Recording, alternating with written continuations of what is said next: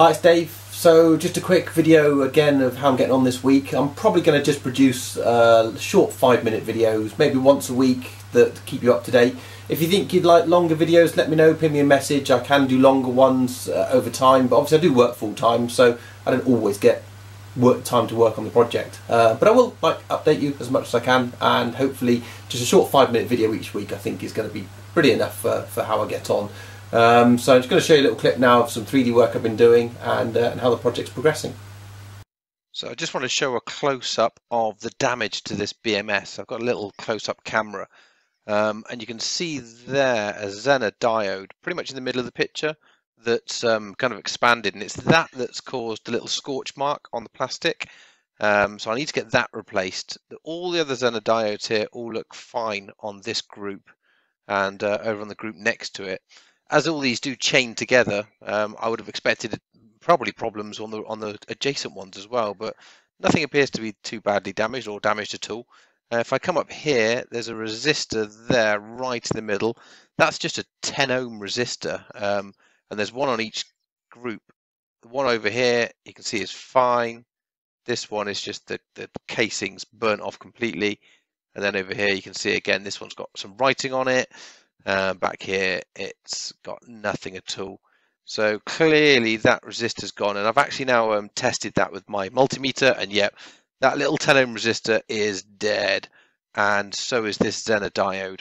All these other resistors and capacitors all look fine. They all seem to test okay. It is very difficult to test these things when they're in a circuit, but um, you can get a really rough idea, especially when they're in a mirror like this, where you've got lots oh, that's a terrible picture. You've got lots of the same circuit. You can obviously just check one against another. Um, as long as they behave the same, then it's all good. And uh, this one is just these two two components that look like they've died. My only other worry is this chip here. You can see where the coating, the protective coating on it, has melted.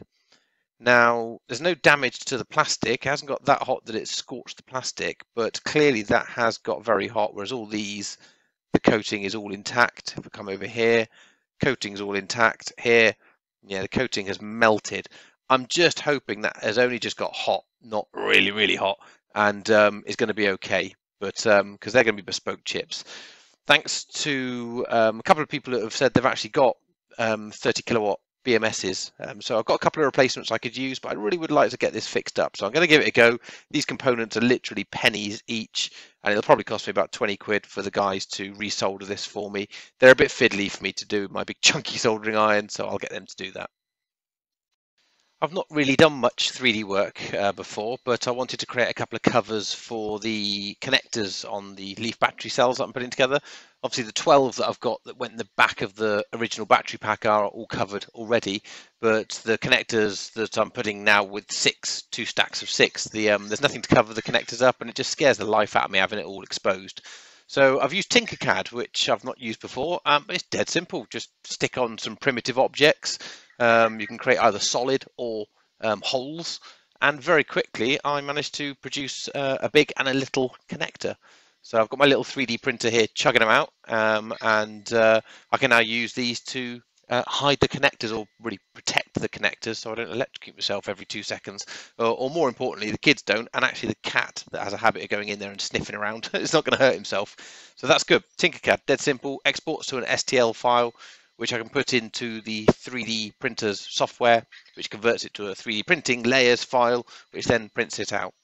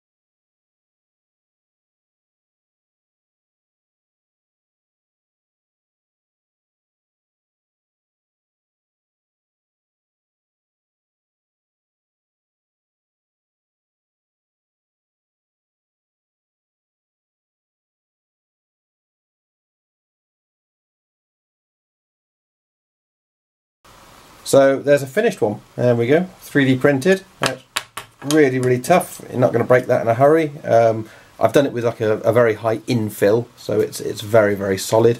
You can 3D print with a, a you know less of an infill, less solid, um, but of course they do become quite weak. And uh, but that's good. That's going to be one of my covers there. I've nearly printed them all now. Um, so as you can see here, I've got these ones all connected up. So you can see here that's um, very clipped on nicely. Uh, they're not going to fall off. Got all that lot done there. There's the big one at the bottom. And then I'm still waiting for my copper connectors but I have found some copper connectors again from Second Life EV supplies. They've uh, they had the copper connectors and uh, they're on their way. Hopefully maybe even arrive today. Um, here's all my spare ones just kind of loitering around waiting. How many have I got? Five six seven eight. I think I just need a, a couple more printed and uh, that'll be all the covers done. I've also moved the motor a bit closer. Uh, had some spare cable that I've now connected up here to the relays. Um, it's not all wired, obviously that end there is not connected, end over there is not connected. Um, at the moment all the relays just turn straight on. So I've got another 12 volt timer coming that will switch the pre-charge over between pre-charge and full negative which will then uh, pre-charge the inverter that's in there I'm hoping once all this lot's connected up that the BMS will start giving me some sensible answers. Um, but as you've as you've seen before, the BMS does have a couple of components that are fried on it. All this now wired up means that um, once the batteries are done, I can obviously, as I say, test the BMS and then maybe even start working on the motor, which would be quite exciting. Um, and uh, see if I can get that to spin. So keep you up to date and uh, catch up next week.